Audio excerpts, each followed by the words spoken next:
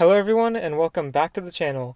My name is Talalipop and you might have noticed I've been doing a few videos on the Trek Marlin series lately and I compared the differences between the 2020 and 2021 versions in my last video, but I realized I haven't done a comparison between each of the bikes with each other.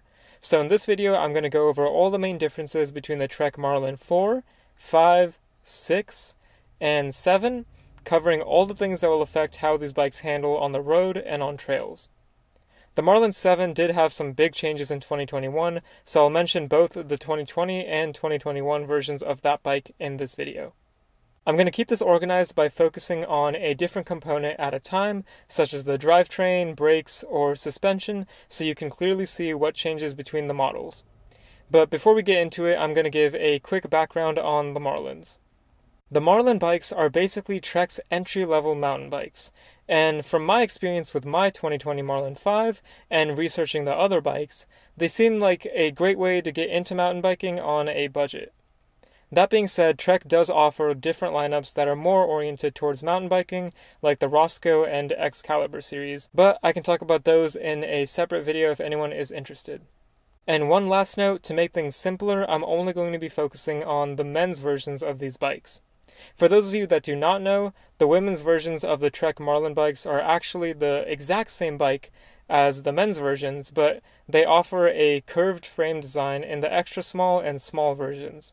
They also come in different colors and have a more comfortable seat, but basically, if you get a women's Marlin 5 or something like that in a size medium or above, you have essentially a men's Marlin 5 with a different seat.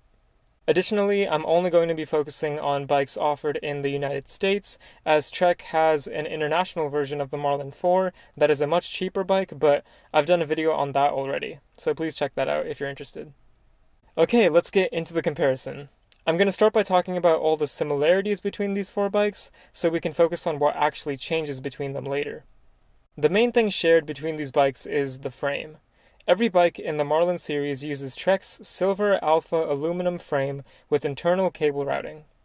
I'll throw up a picture of the specifications on this frame, but there's too many to go through all of them in this video.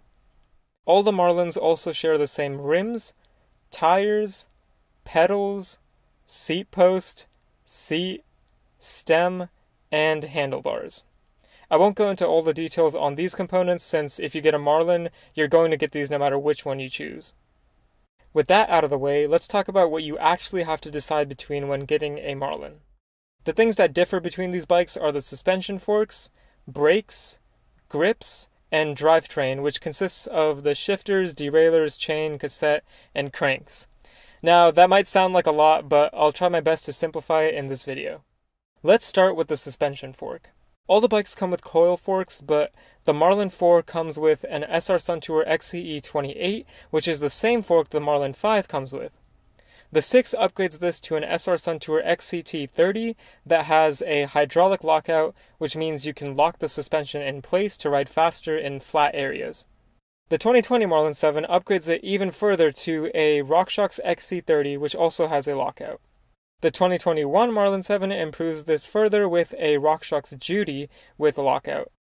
All of these forks have 100mm of travel, and as you upgrade higher, you will see better dampening on the trail and better components that will last longer. Next are the brakes. All the bikes come with disc brakes with 160mm rotors, but the Marlin 4 uses Tektro mechanical disc brakes, while the Marlin 5 and 6 use the same Tektro hydraulic disc brakes. The Marlin 7 in both years uses Shimano hydraulic disc brakes. Hydraulic brakes are better than mechanical disc brakes since they require less maintenance and work better in all weather conditions. And the Shimano hydraulics cost more, but they do come from Shimano's Altus group set, which is pretty reliable. Then we have the grips. So the Marlin 4, 5, and 6 all use the same Bontrager XR Endurance Comp grips, which are comfort biking grips that have extra support for your palm. The Marlin 7 in both years upgrades this to the more trail-oriented Bontrager XR Trail Comp, which has a cylindrical design. However, grips can come pretty cheap, so this isn't too big of a deal, and both work perfectly fine. Finally, we have the drivetrain, which is the main difference between these bikes. Starting with a general overview, the Marlin 4 and 5 both mainly use a more budget Shimano Tourney drivetrain, which has three gears in the front and seven in the back, and thus is more oriented toward commuting and road biking. With this 3x7 drivetrain, you have 21 different gears and can easily find the perfect gear for going the speed you want to go in flat areas. The Marlin 6, on the other hand, uses mainly a Shimano Altus drivetrain, which is one level above the Shimano Tourney, but this time there are only two gears in the front and eight in the back.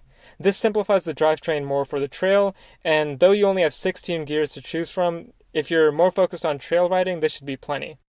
Next, the 2020 Marlin 7 upgrades this further with a Shimano Altus 2x9 drivetrain, giving you some gears back which are going to help for uphill riding. The 2021 Marlin 7 makes a big upgrade to the Shimano Deore 1x10 drivetrain, which is pretty much Shimano's entry into serious mountain biking drivetrains. A lot of specific parts in these drivetrains are different between bikes, but that is mainly because the Marlins use different Shimano group sets. Therefore, going over every single part in these drivetrains would be a bit overkill, but I'll list some specifications about some parts and talk about them now. The shifters progressively get better and are different depending on how many gears the specific bike has, but basically as you move up the line you will get quicker shifting and at the top Marlin 7 model you have the ability to shift multiple gears in one go without the drivetrain failing, which can be helpful in fast-paced trail riding scenarios. The cranks progressively get better as well, but the main changes between them are the amount of teeth on the gears available, which just translate to faster and easier pedaling as they get more expensive. The last component I'll talk about is the cassette. The Marlin 4 uses a 14 to 28 tooth 7 speed cassette, while the Marlin 5 uses a 12 to 32 tooth 7 speed, and the Marlin 6 uses an 11 to 34 tooth 8 speed. The 2020 Marlin 7 has an 11 to 36 tooth 9 speed, and the 2021 model has an 11 to 46 tooth 10 speed cassette. As you might notice, as the models get better and more expensive, the amount of teeth in the smallest cog in the cassette gets lower, while the amount in the largest cog gets larger. Basically, the less teeth on the smallest cog translates to quicker pedaling in flat areas, while more teeth on the largest cog translates to easier pedaling uphill. And with that, I've covered all the components that make the Marlin 4, 5, 6, and 7 differ from one another. I'll give a bit of a summary on these while I show a table that simplifies what I talked about, since I went over a lot of things. But basically, the Marlin 4 and 5 are intended for beginner mountain bikers who still want to have some fun on trails and have a good time learning the ins and outs of mountain biking. But that being said, I personally do own a 2020 Trek Marlin 5, and I believe it can be used as your main trail riding bike if you are on a budget and cannot spend, you know, $800 or more on a bike right now. The Marlin 6 is $100 more than the Marlin 5, but it does go one step above the 5 and is probably a better entry level mountain bike to get if you have the money, since it does have that 2x8 drivetrain, which is more trail oriented, as well as the hydraulic lockout. Then the Marlin 7 is clearly the top of the line, and I would definitely recommend the 2021 version over the 2020 model if you're looking to go on trails more often, since for only $40 more you get that Deore group set and 1x10 drivetrain, which is really good. But that is all for this video. If you enjoyed and this helped you out, please leave a like and subscribe, and leave a comment below if you have any questions or suggestions for me. But besides that, thank you so much for watching, and keep biking.